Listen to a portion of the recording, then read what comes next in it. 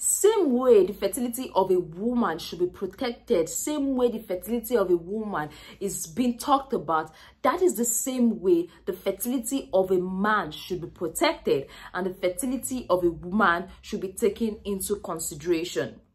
Good day everyone and welcome back to Nurses Lecture Room YouTube channel. My name is Mercy Mary, popularly known as a nurse with the difference and I make learning easy and accessible for all my viewers. Today I'm going to be sharing with the men 10 tips, 10 ways to protect their fertility. 10.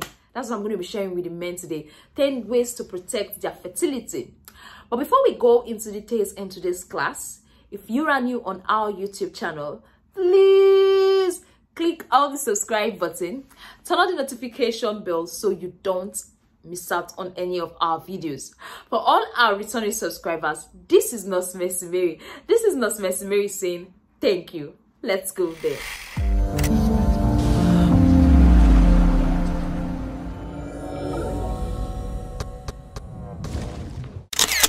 All right welcome back. Like i earlier said today i'm going to be sharing with the men 10 ways to protect their fertility. 10 ways to protect us to protect their fertility. The first one i have to share with you is don't smoke. Yes. Same way smoking affects other organs. Smoking affects the liver smoking the taste smoking affects the lungs. That is the same way smoking affects affect your sperm production. That is the same way smoking also affects your fertility. So as a man that wants to get pregnant that is protecting his fertility it's advisable you stay away from smoking tobacco.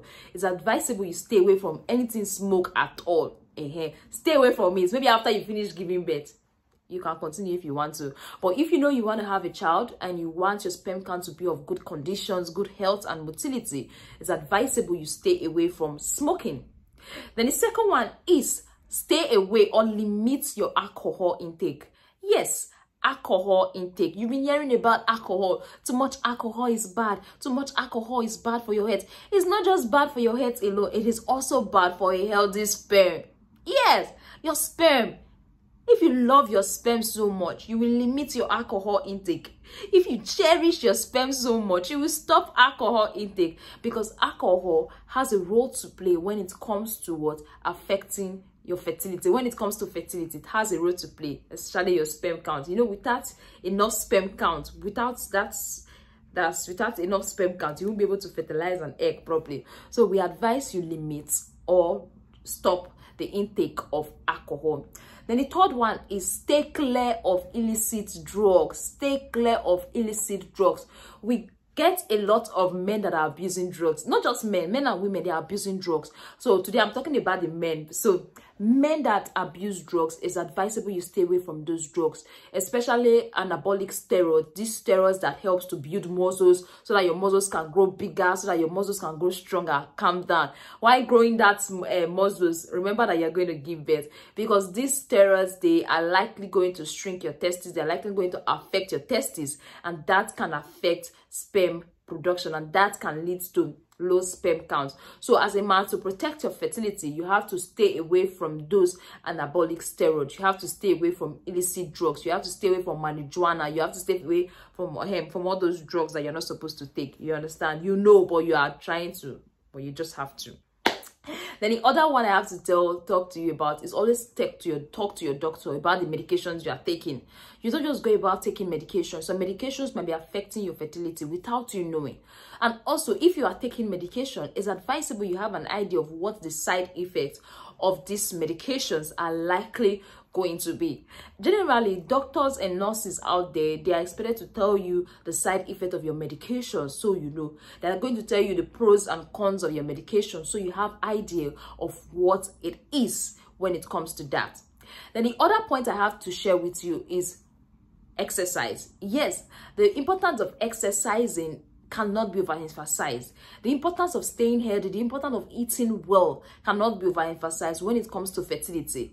The importance of not taking in a lot of caffeinated drinks, the importance of taking good, uh, clean water cannot be overemphasized when it comes to a man's fertility. So if you are a man you are a man, a good man, a strong man that is planning to give birth to um, children and is trying to protect uh, um, his fertility, it's advisable you stay healthy you exercise eat nourishing food eat a lot of fruits and vegetables and stay away from caffeinated then the fifth point I have to share with you is maintain a healthy weight. Yes, maintain a healthy weight.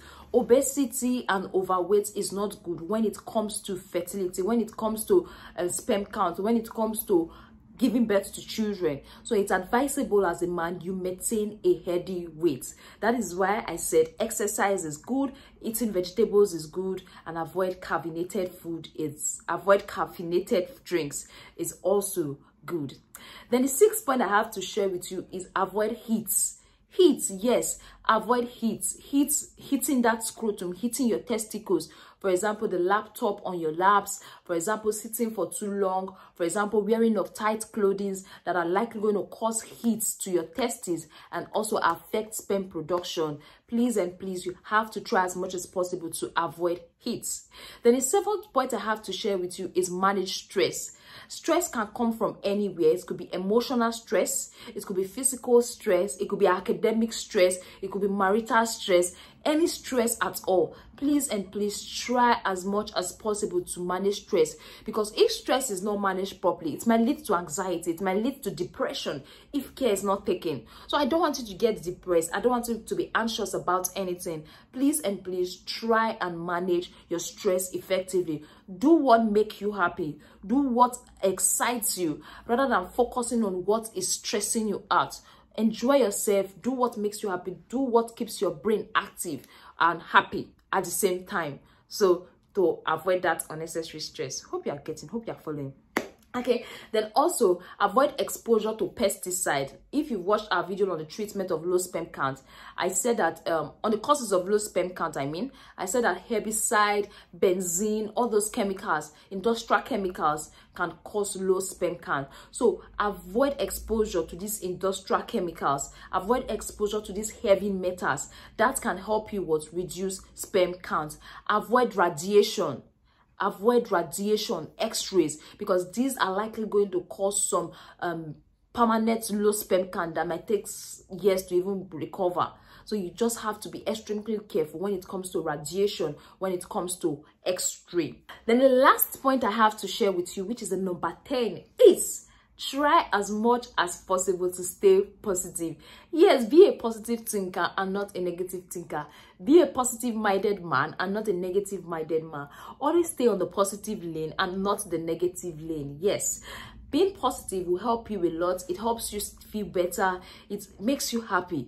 So being negative will make you depressed will make you anxious will make you have anxiety, will make you stress out. So try as much as possible to stay positive. If you are trying to have children, you are trying to have kids, don't allow them these whole thoughts stress you out. Just stay positive that these kids are going to come. Just stay positive that these children are going to come. So stop killing your thoughts with negativity. Stop filling your mindset with negativity because that is going to affect you in the long run. So these are the 10 points I have to share with the men on how to protect their fertility. Thank you very much for staying tuned. Thank you very much for watching my video. I really appreciate Don't forget to like, don't forget to subscribe, and also don't forget to share with a friend if you got value. For all my returning subscribers, this is Nosmes Mary saying thank you. Bye and see you in our next video.